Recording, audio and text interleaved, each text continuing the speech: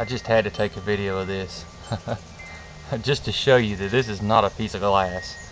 It is natural quartz. I'm hoping if you look here you can see little growth lines. Uh, that proves that this is not a cut and polished piece. This is naturally formed. It's a natural Herkimer diamond and it is one of the clearest ones I have ever seen. It's absolutely gorgeous.